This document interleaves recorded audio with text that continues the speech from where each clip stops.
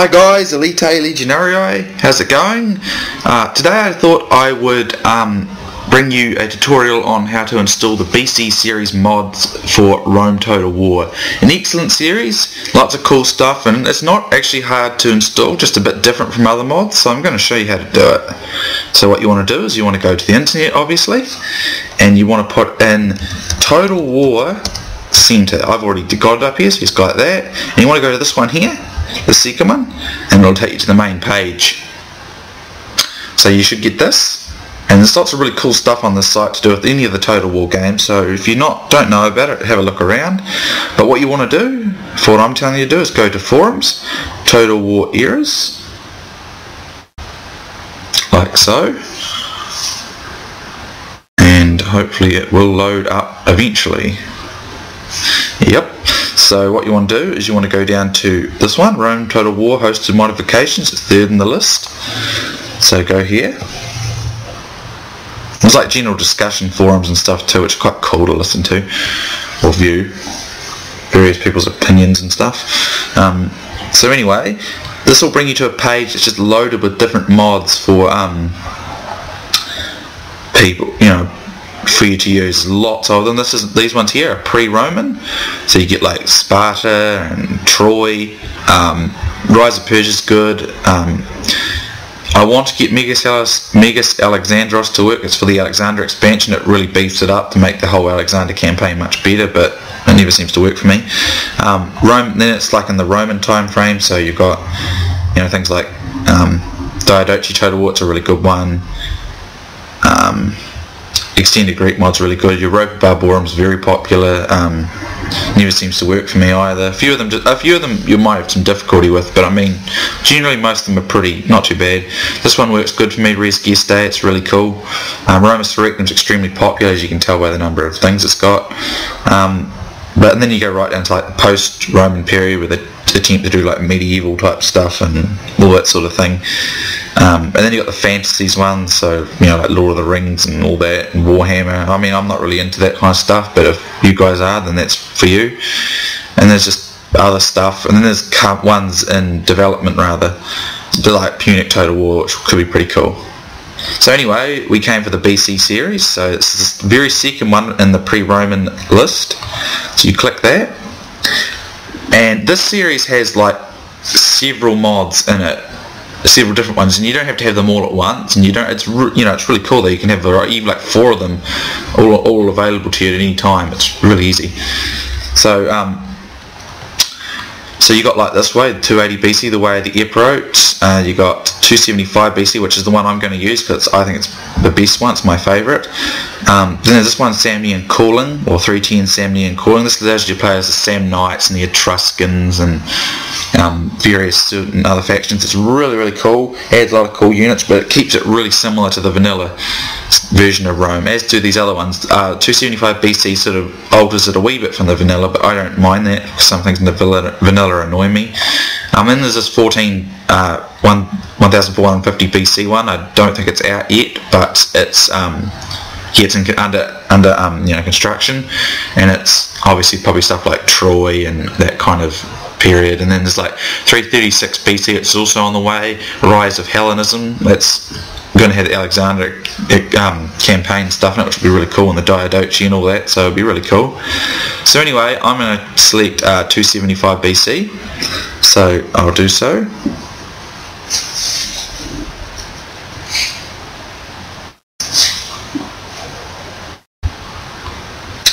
So you get this page, and make sure you keep this page up because you will need it for part of the installation. So here's the instructions here. I found them pretty simplistic when I followed them, but some people get confused. Um, I'm not saying, I'm not being mean or anything when I say that, but um, I don't think it's confusing. But I mean, some people are not computer uh, like literate, and I actually not myself. But I found this one fairly easy and straightforward. But I mean, some of you have just got no idea what you're doing when you're modding, and that's you know completely fine. I was once like that. I mean, I'm pretty pretty you know not great at it, but anyway. I developed a few skills. So anyway, what you want to do is go to this where it says download here. So click that. And what you should get is this page here. So obviously just click over here where it says download. and do so. And it should bring you to a um, file front page, I think it is, or game, um, I think it was a game front or file front, I can't remember. Um, yeah, it's a game front rather than not file front. So you just click download now, and then that'll bring you to this. And the timer here, we'll just go down to that until your thing's ready. And here it is here for me. So all you do is go save, save as, and say yeah, and you just send it to where you want to send it. So somewhere you're familiar with is a good idea, and then you can just go from there. I already have the mod. I already have it downloaded, so um, I was just showing you how to get it and where to put it and all that kind of stuff. So that's fine. So I don't actually need um, to download it, but I still need to install it because I uninstalled it so I could reinstall it for you guys. So what you want to do is you want to open up where you've sent it. I put mine in this place called downloads and it'll come in a compressed folder so you want to right click it and extract. I've already done that though because I've got it up here. So just double click on that and you just don't worry about the symbol with Pontus SPQR. Just use this. Okay, so what you want to do, whoops, what you want to do is um, you go to your Rome Total War folder, you open file location, and you find this, well, should automatically highlight, or it does on mine, this Rome Total War symbol here, and you just go create shortcut. And it'll ask you to put it on the desktop, which is what you want. So put it on the desktop, like so. And what you want to do after that is go out of that and you want to copy this mod, this thing called mod folder. Just copy it then right click on the shortcut and go open file location. Now it should look the same as the bit I was just in before. And all you want to do is just paste this in here, anywhere in here. Just put it in, like so.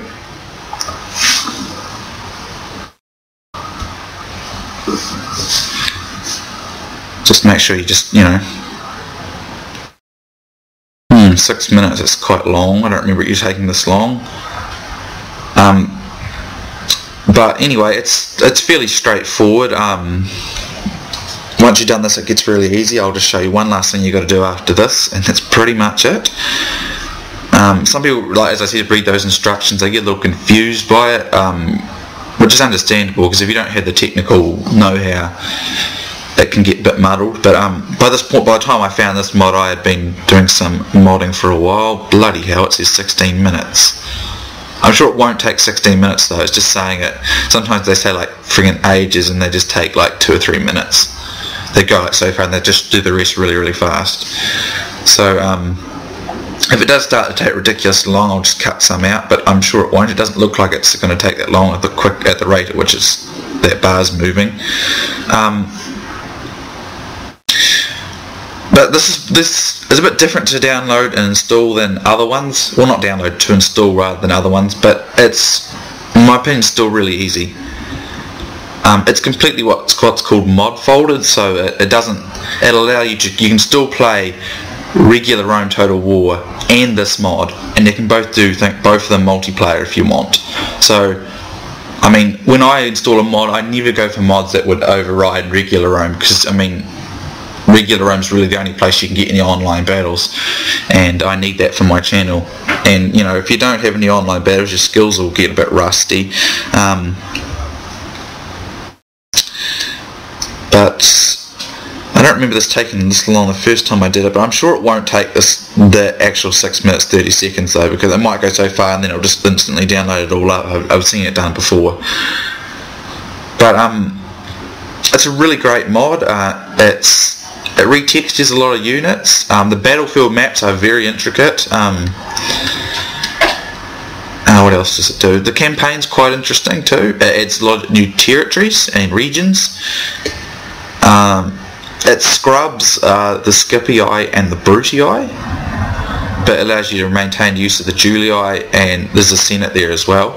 Um, I mean, it's kind of well, one less Rome, two less Roman factions. It's interesting. It's great for the campaign because you can conquer Italy at the start, which is really cool. Um, but I mean, the map go adds a bit of like uh, Norway and some of those northern areas that are not in the Rome Total War map, and it goes a wee bit further east. And um, what else does it do? It just adds quite a lot of new units. Um, this one here, I've got here the 310 BC Samnian calling one. I've got that as well. Um, that's really cool. It adds, it, it's a light it adds like stuff like armoured hoplites to Macedon and they look really awesome in the black Macedon get up and adds lots of other new units as well. And it even adds to those factions that can get cataphracts except for the Seleucids. It adds dismounted unit so that cataphracts fight on foot and that's really awesome because they can still pull out their armour piercing mace if you just press down alt as well as their spears so they can handle both uh, cavalry really well and they can take on any heavy infantry even urban cohort. So um, that's really cool. So that's in the 310 Samnian calling one, um, which is it is a really cool mod. Um, it adds like the sacred band of Thebes to uh, the Greek cities as well. They still get their Spartans, of course. Um, but a lot of the stuff's very similar. Like like in terms of the way it looks, it looks very. The units look a lot like they do in the regular vanilla but it adds it adds a lot new more units and stuff though so don't you know Because like the Scythians cataphracts and various other sorts of things which historically they did have um, but this one I'm getting it sort of it re kind of works the units and they look they look a lot better they look uh, like they might do in some of the more advanced mods like uh, Roma Surrectum, Europa Barbarorum and you know some of them. So this one I'm doing I think it, it makes the most interesting sort of um, you know, interesting sort of stuff. Uh, if you guys just want to skip in the video, go ahead. I mean, you probably don't want to listen to me waffling on about this. Um, but it's just a really cool mod. Um, there's a few new maps too, which is quite cool. Um, but a lot of the maps have been reworked so you wouldn't recognise them. Even grassy flatlands and uh, the Syrian flats are different. They've got like uh, rocks and trees on the field. I mean, just in little bits, it's still really flat. But I don't necessarily like that so much. But it's still pretty cool. it looks really, really good. Um,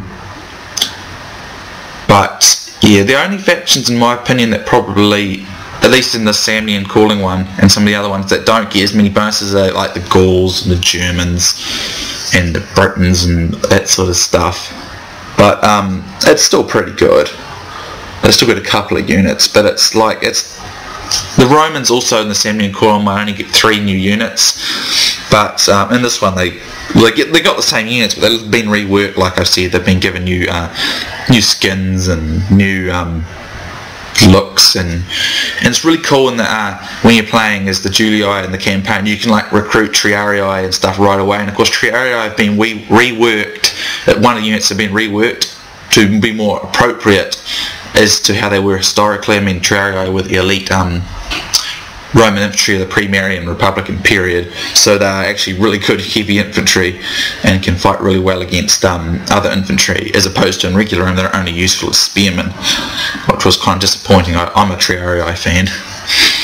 So um, anyway, I'm surprised this took this long. I don't remember it doing this the first time I played, but anyway, um, here it is.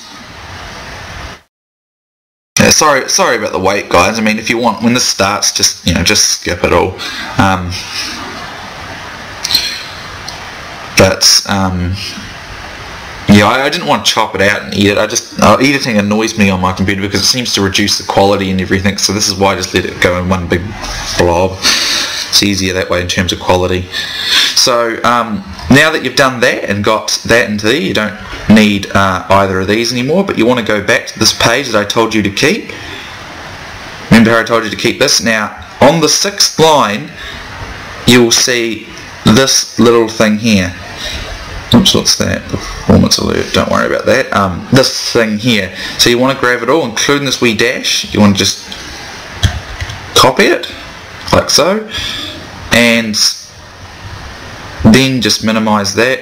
Now what you want to do is you go to properties and the shortcut you created and you'll see this target line here. There's a line where it says target and it should be highlighted. Now you go to the very end of it and press click once so that it's just got that just like that the very end of the line. Then press space once then paste what you uh, just copied. Then go click apply OK. That's all you got to do. Then all you want to do is rename the file. So just call it uh, 275BC and that's that and you shouldn't need this anymore so um, that's it guys that mod should go um, oh I suppose I can test it out go away um, I think I need to change the thing on here to um,